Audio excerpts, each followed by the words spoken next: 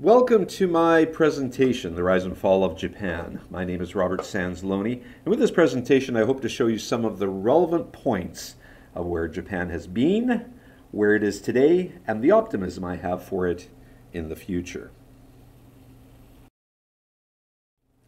Quick bit about me. I first moved to Tokyo in 1991 as an English business consultant and teacher, and have frequently returned, including living in Nagoya for three years. I love Japan and, yes, have been astonished by its achievements, particularly viewing it from the last days of the bubble.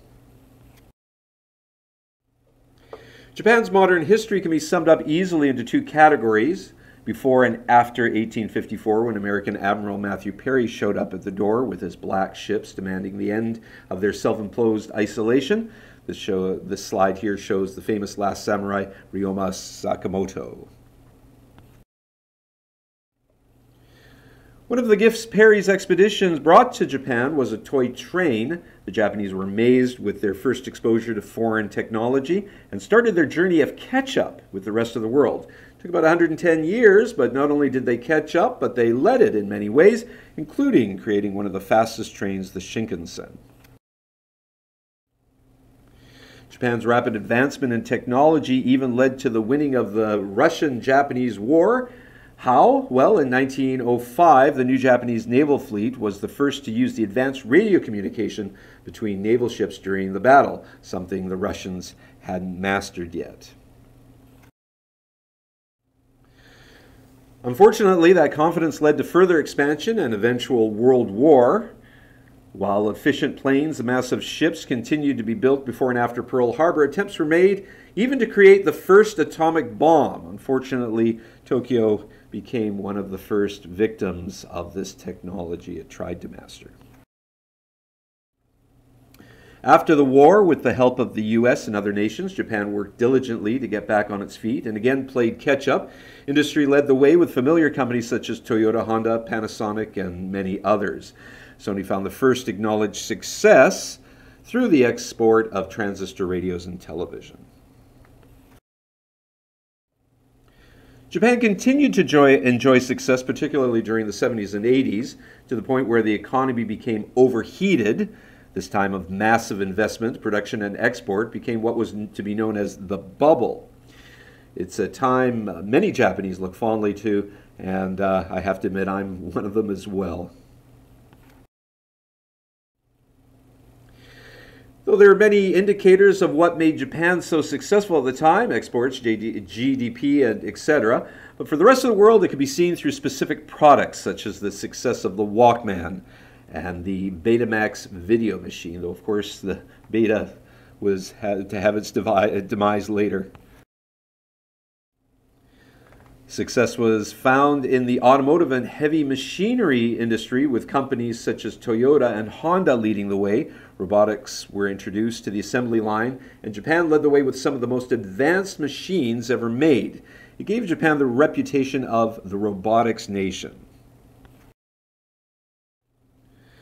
Another area emerging for Japan was in telecommunications. In the early 90s, cell phone companies such as Docomo were created to put Japanese engineering to the forefront on the world stage by building personal communication devices never seen before. Mobile, mobile phones outside of Japan simply looked ancient. So if everyone was going was going if everything was going right, how did things start going wrong? Well, many observers uh, have their own theories of what happened to Japan, mainly that the economy was getting too hot. Here are a few observations I've had with each subsequent visit and stay within the country. Japan excels at making things better, but it lacks on the creative side of innovation. When computers become a part of a, a, a people's personal and professional lives, Japan stumbled constantly to show the way. They could mass produce computers, but they couldn't come up with something new. Toshiba and Sony had limited success, such as this model, which is considered one of the first laptops on the market. Again, creative innovation, not just innovation of making things better, had global consumers looking for other companies for the next best thing. And that, of course, was Apple in the US. Another area Japan lost ground has been in telecommunications When Apple CEO Steve Jobs was questioned about introducing the iPhone in 2007 uh, compared to other devices coming out of Japan, Jobs was sure that the Japanese uh, would not be as innovative and stay within their limited designs for decades. Japan has always thought of itself as the leader in Asia, and for many years it has been. Of course, while neighboring nations were amazed with Japan's success, they used it as a blueprint for their own success. South Korea, Taiwan, and China have all accessed their own bubble over the past couple of decades. One particular player, South Korea, has found its own success in the world, often at Japan's expense. While Hyundai takes on the automotive field, Samsung has taken the place of Sony to offer innovative products in all areas of consumer electronics, including telecommunications. And just when market forces pull Japan lower in economic ranking, natural disasters help worsen the situation. On March 11, 2011, a massive earthquake striked struck uh, near uh, northern Honshu, which inflicted record destruction of property, and it compounded uh, was compounded by the tsunami. My feeling is Japan has always demonstrated the ability to catch up and surpass what is happening in the world, regardless of what it keeps uh, keeps bringing them back, either self-imposed or externally imposed.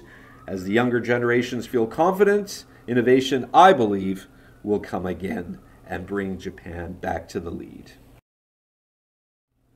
Thanks for watching my Pechakucha presentation. I hope this brought you a better understanding of where Japan has been, where it's at, and the optimism for its future. Please feel free to contact me with questions or feedback. My name is Robert Sanzalone. Thanks again for listening.